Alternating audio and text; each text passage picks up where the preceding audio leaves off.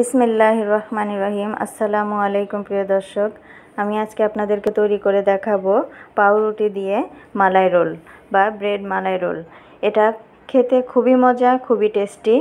আশা করি আপনারা রেসিপিটি মনোযোগ দিয়ে দেখবেন। ইনশাল্লাহ একবার হলেও বাসায় ট্রাই করবেন। তাহলে চলে যাওয়া যাক আমার ব্রেড মালাই রোল তৈরি করতে, কী কী লাগছে। তো শুরুতেই আমি একটি প্যানে দিয়ে দিচ্ছি। হাফ কাপ লিকুইড দুধ, দিয়ে দিলাম হাফ কাপ লিকুইড দুধ। এর মধ্যে আমি দিয়ে দেব পনি এক কাপ গুঁড়া দুধ। দিয়ে এটাকে ভালোভাবে একটু মিশিয়ে নেব। ভালোভাবে মিশিয়ে নেওয়া হয়ে গেলে খেয়াল করতে হবে যে কোনো রকম দানা দানা ভাব বা দুধটা যেন জমাট বেঁধে না থাকে, খুব ভালোভাবে যেন মিশে যায়। এর মধ্যে আমি দিয়ে দিচ্ছি এক টেবিল চামচ ঘি। এবং এক টেবিল চামচ চিনি দিচ্ছি।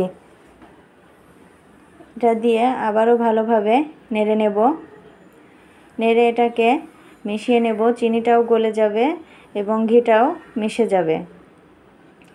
হয়ে গিয়েছে আমার পুরটা। এভাবে নরম থাকা অবস্থায় এটাকে নামিয়ে নিতে হবে, কারণ এটা ঠান্ডা হলে আর একটু শক্ত হয়ে যাবে।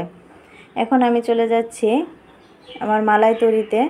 মালাই তৈরির ক্ষেত্রে আমি আগেই নিয়ে এক লিটার দুধ জাল করে রেখেছিলাম।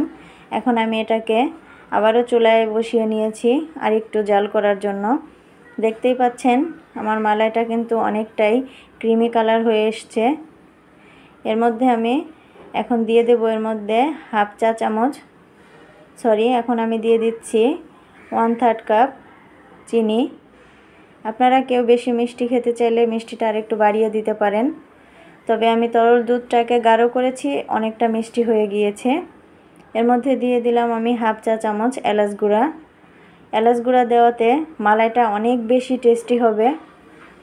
অনেকটা, অনেক বেশি ফ্লেভার আসবে এটার মধ্যে। তো হয়ে গিয়েছে, আমার দুধটা বলক চলে এসেছে।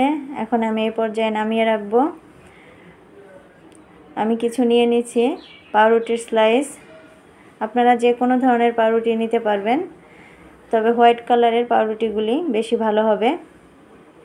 তো পাউরুটির চারিদিকের ব্রাউন অংশটা কেটে ফেলে দেব। ঠিক এভাবেই আমি চারিদিকের ব্রাউন অংশগুলো কেটে নিয়েছি। এখন একটি বেলুন দিয়ে চেপে চেপে বেলে নিব।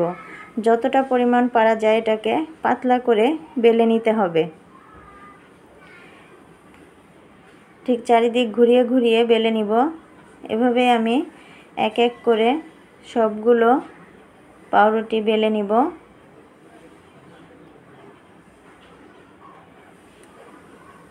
বেলে নেওয়া হয়ে গিয়েছে। এখন আমি এর মধ্যে দিয়ে দিচ্ছি যে গোড়া দুধের যে পোটটা আমি তৈরি করে রেখেছিলাম, সেই পোটটা দেব। তার আগে আমি পাউরুটির উপরে একটু ঠান্ডা দুধ ব্রাশ করে নিচ্ছি। ঠান্ডা দুধ ব্রাশ করে নিয়ে তার উপরে পুরটা ঠিক এভাবেই লাগিয়ে দেব। লাগিয়ে আলতো হাতে এটাকে মুড়িয়ে রোল করে নিতে হবে। খেয়াল করতে হবে যেন ভেঙে না যায়। আবারও আমি আরেকটি পাউরুটি নিয়ে নিলাম এবং তার মধ্যে আমি দুধ ব্রাশ করে নিয়েছি এবং পুরটা লাগিয়ে এখন আমি এটাকে আবারও মুড়িয়ে নিচ্ছি। এভাবেই এক এক করে সবগুলো রোল তৈরি করে নিতে হবে।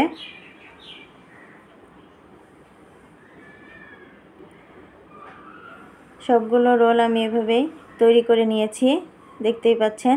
এখন আমি এর মধ্যে দিয়ে দেব মালাই। যে মালাইটা আমি তৈরি করে রেখেছিলাম, দেখুন এটা এক কাপের মতো হয়েছে এবং কতটা ক্রিমি হয়েছে। এখন সম্পূর্ণ মালাইটাই আমি রোলের উপর ঢেলে দেব।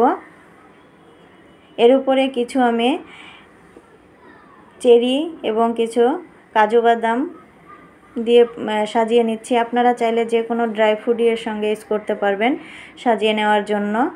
তাহলে তৈরি হয়ে গেল আমার এই মজাদার মালাই রোল। আশা করি আপনাদের একটু হলেও ভালো লেগেছে। যদি ভালো লেগে থাকে, আমার চ্যানেলটি সাবস্ক্রাইব করার অনুরোধ রইল।